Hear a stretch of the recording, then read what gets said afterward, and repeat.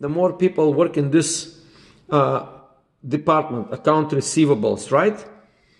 But if the CEO has a good time of his time spent on his action spent, that will result in accounts receivables. It will be going up, and this money here, all the money spent for this week, it will be going down. So one of the goals of any business is to decrease the money spent and increase the money in account receivables. You know that if you if you are in business, you know that's the major one of the major things.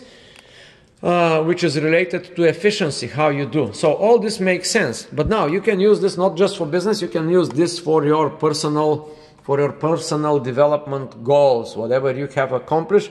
And then you plan it here in this book for two hours, two hours of your time.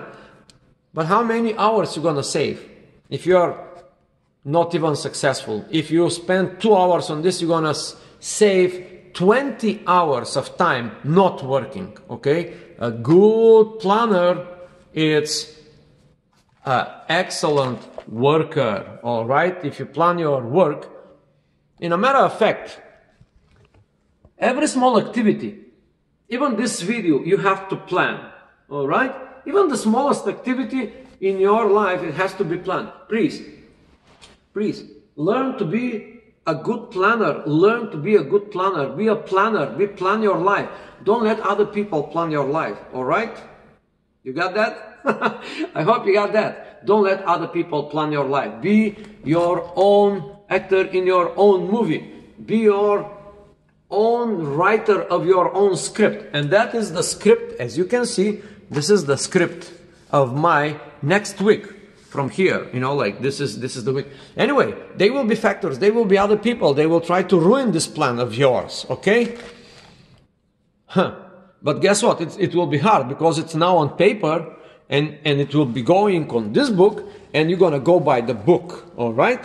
And once you go by the book it will happen okay? So first you plan it then you transport it to this book every day every day you put for monday i'm gonna have to do three major things. You know, one, two, three. I cannot do more. Some people can do five, okay?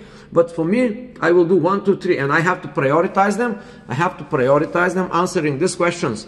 You see, I repeated this multiple times because the mother of writing down in your mind is the pen, the paper, and repetition.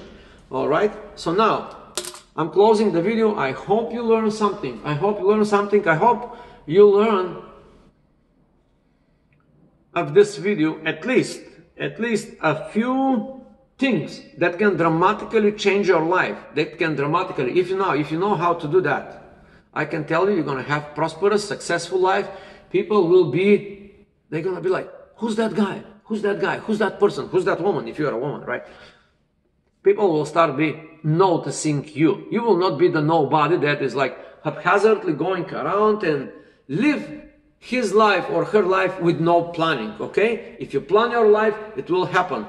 I would say the book never lies and you are actually writing your own destiny. You are writing the ticket of success in your life by doing this simple, simple things. You see, it took me 20 minutes to tell you this. Took me 25, 26 minutes to tell you this. I think this could be the most valuable 26 minutes of your time.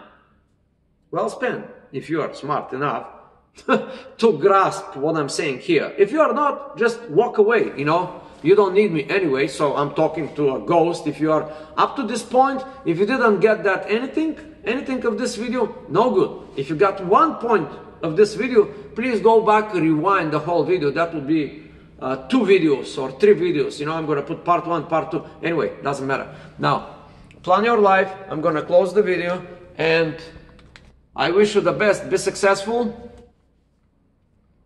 I mean, you know, just be, just be happy, be successful, be, be happy.